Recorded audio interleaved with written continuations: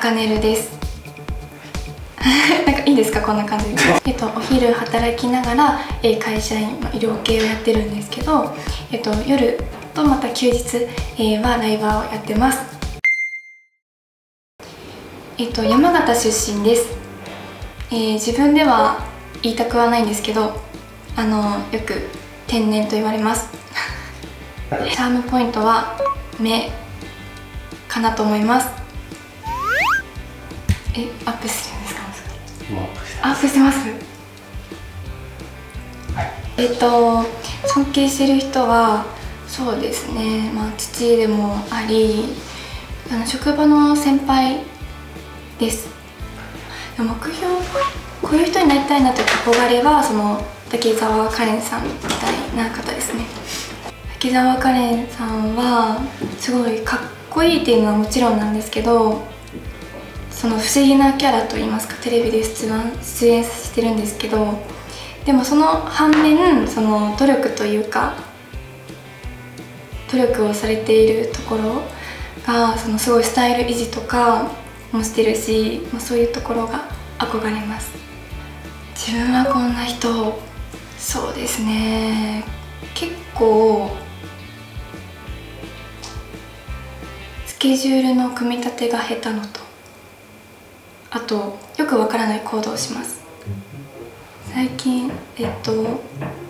それこそ乾電池をなぜかわかんないけどあの使い捨ての乾電池を冷蔵庫に入れてしまうとかありました 酔っ払ってはないあなんかあの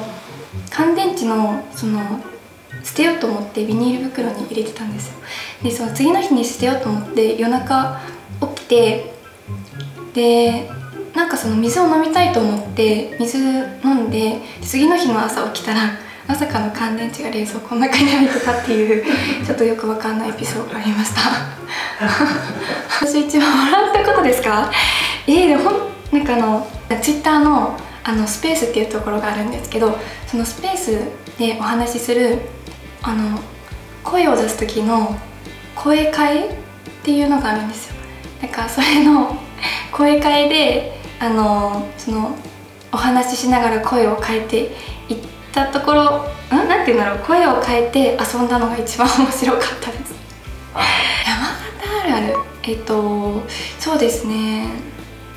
山形あるある。高校の遊び場はイオンですかね。2022年の目標えっ、ー、となんか今年もそうだったんですけどそのミクチャをやり始めてからそのいろんな人と出会ってそのなんかライバーさん同士で会うようにもなってでそこからそのいろんな人と遊び遊びに行くというか出会って遊んでいくそのアクティブな行動がすごい好きになったので来年もいろんな人と出会ってあのいろんなことに挑戦したいなって思ってます。ミックスチャンネル自体始められたのはい。つ頃なんですか、はい、と今年の4月からです。4月でじゃあもう結構直後の今回のエントリーみたいなことですかね。そうですね。直前にその私の友達が見つけてくれてちょっとやってみたらどう？って勧められてじゃあちょっとやってみるか。ってなってそのまま やりました。喜んでました。えー、頑張ったねとかもなんかすごい口下手父はすごい口下手で、うん、まあもともとそうだったんですけどでもなんか頑張ったねとかちょっと一言いただいて、えー、えー、そうですね。あんまりその大体的には言ってないんですけど、うん、そのまず私がそのいろいろ経験した上でその将来的にそのもし困ってる子どもたちがいたら助けたいっていう思いもあってなんか今でいう NPO 法人っていうのをそのに関係の携われるお仕事をやっていきたいなっては思ってます。第5回ミスブーケのイベントを今のやってます。でその今までの感謝えーと、リスナーさん